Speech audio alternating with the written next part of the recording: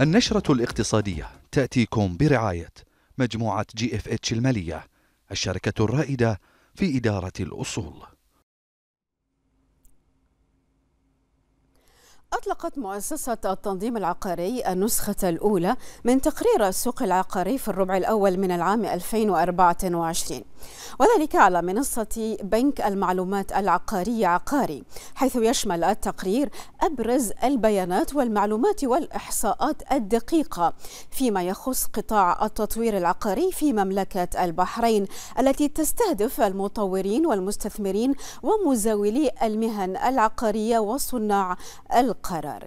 بهذه المناسبة أكد الشيخ محمد بن خليفة بن عبد الله الخليفة الرئيس التنفيذي لمؤسسة التنظيم العقاري أكد أن منصة بنك المعلومات العقارية عقاري تجسد ما توليه مملكة البحرين من اهتمام بتطوير الأنظمة وتبني التقنيات الحديثة والذكاء الاصطناعي في مختلف القطاعات. ومنها القطاع العقاري باعتباره أحد القطاعات الواعدة وتابع بأن هذه الخطوة تأتي موازية للدور المناط لمؤسسة التنظيم العقاري بأن تكون مصدرا رئيسيا للبيانات والمعلومات والإحصاءات الدقيقة فيما يخص قطاع التطوير العقاري في المملكة وبما يتسق مع تحقيق أهداف الخطة الوطنية للقطاع العقاري 2021-2024 نحو قطاع عقاري مستدام. ومحرك إيجابي للقطاعات الاقتصادية الأخرى.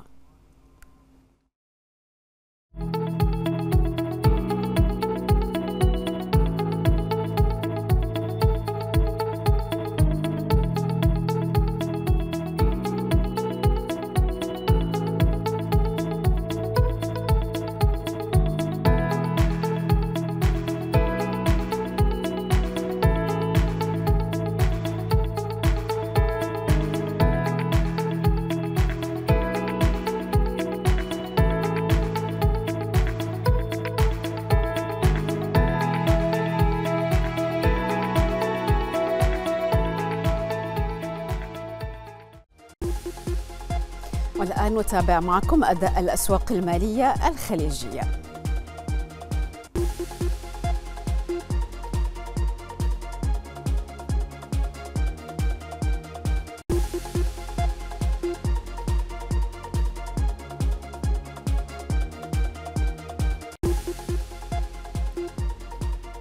وللحديث حول آخر مستجدات أسعار الفائدة والاستثمار.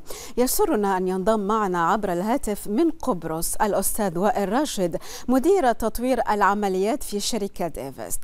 مرحبا بك في النشرة الاقتصادية. ما هي توقعاتكم حول أسعار الفائدة؟ هل سينخفض الفيدرالي الأمريكي الأسعار أو هل سيخفض الفيدرالي الأمريكي الأسعار في وقت قريب؟ وإلى أي مدى يؤثر هذا على قرارات المستثمرين؟ تحياتي. إيه، بداية إيه، لما بنتكلم أو عن أسعار الفائدة إيه، هنالك عوامل لازم تتوفر لحتى يبدأ الفدرالي الفدرالي في البحث أو التفكير بخفض الفائدة. من أهم العوامل في عوامل اثنين مهمات اللي هو عامل التوقيت اللي هو متى ممكن إن يبدأ الفدرالي بالتخفيض والعامل الآخر آه، هي كمية التخفيض كم مرة ممكن نشهد تخفيض. آه، بالوقت الراهن وبعد قراءات مؤشر ال CPI وال PPI بالأسبوع الأخير لاحظنا تراجع في التضخم المالي بالولايات المتحدة. طبعا مثل هذه التضخمات مثل هذه المؤشرات مهم جدا كمان نعرف كيفية التعامل معها. نعم. كيفية التعامل معها وتماشيا مع نهج الفدرالي بمراحل صنع القرار. نعم. آه، الفدرالي اليوم عمليا لحتى يبدأ في خفض أو التفكير في خفض أسعار الفائدة آه، هو محتاج لثلاث عوامل مجتمعات سوية اللي هي الثقة اولا. الثقة يعني عمليا آه، بانه المسار التضخم منخفض ولازم يكون عنده ثقة كاملة في سلسلة عينات يعني بناخذ بعين على سبيل المثال من بداية العام آخر مرة فقط شاهدنا تراجع في قرارات التضخم في معدلات التضخم. نعم.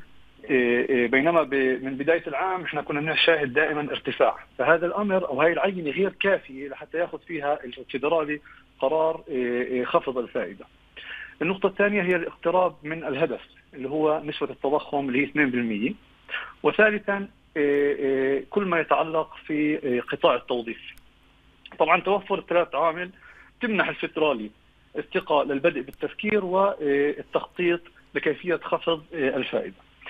بالوقت الراهن ونستند طبعا للبيانات الأخيرة لل CPI وال PPI بحسب رأيي احتمالات تقريبا 70% الفدرالي يبدأ بأول تخفيضات له من شهر سبتمبر للعام الحالي. طيب سيد وائل في المرحلة الحالية ما هي هي أهمية تنويع الاستثمارات خاصة مع وجود توترات جيوسياسية في المنطقة؟ إيه، بلا شك تنويع الاستثمارات كان وما زال هو من أهم استراتيجيات التداول لكل لأي محفظة استثمارية، إحنا دائما بنقول تنويع الاستثمار هام جدا اولا إذا ناخذ بعين الاعتبار التقلبات الجيوسياسية اللي بنشهدها اليوم بالشرق الأوسط خاصة. إيه، من عام 1948 للاسف الشديد الشرق الأوسط بيشهد إيه، حروبات ومناوشات وإلى آخره.